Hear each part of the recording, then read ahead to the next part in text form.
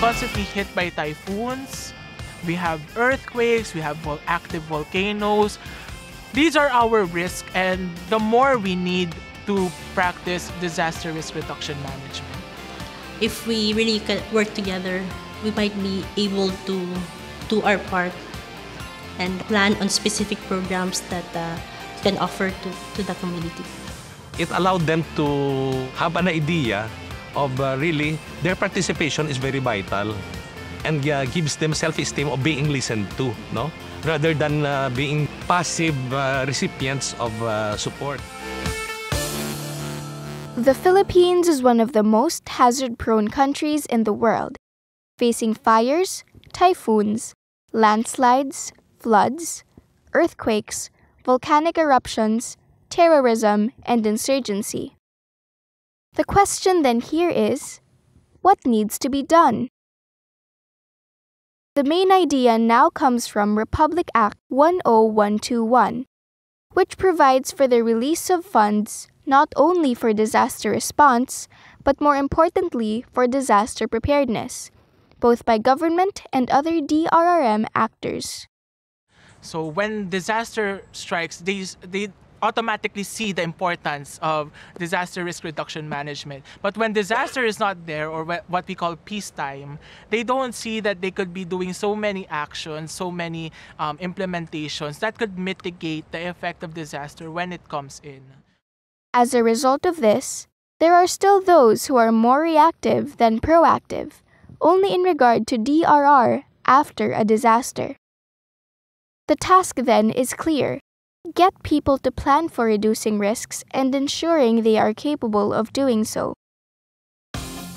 This gave birth to the blended learning approach to strengthen DRRM or BLAST DRRM, a condensed and customized course civil society organization personnel can take almost anywhere.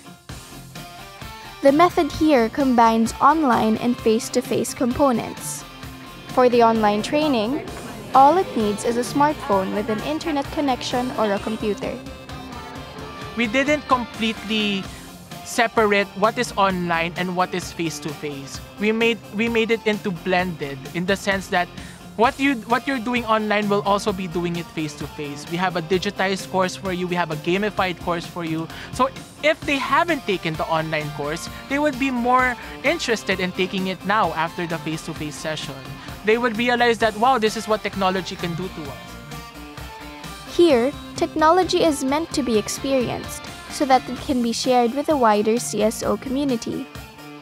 It makes the people more participative, and through learning, they realize, uh, through games rather, they realize and uh, better internalize the concepts that are being taught.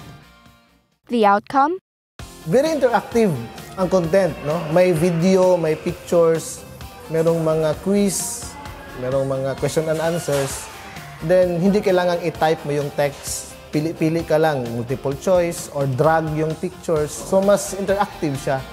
Madaling maintindihan. I think the, the advantage of uh, having or going through this uh, training with Blast, it has given me the theoretical informations as well as uh, ideas on cases that were presented from, from the real situation. It will enable me to evaluate if I am really doing it right. Also help, help and guide me in uh, doing better. The gamified aspect of Blast DRRM is perhaps its most unique feature pushing the idea that learning DRRM need not be made too theoretical and concept-heavy for it to be effective. In addition, it built on learners' inherent competitiveness and made this something positive. Through an emphasis on team collaboration, competition, and gamification, learners were motivated to actively participate. The idea of collaboration is crucial here as it has been observed to be absent or insufficient in past experiences in disaster response. By design, the learners were mixed so that the spirit of collaboration and openness could be built even among those from different organizations. learners felt that they were part of a bigger team, working towards disaster risk reduction and management, something quite necessary in real life situations, and unfortunately, found to be lacking in numerous past experiences.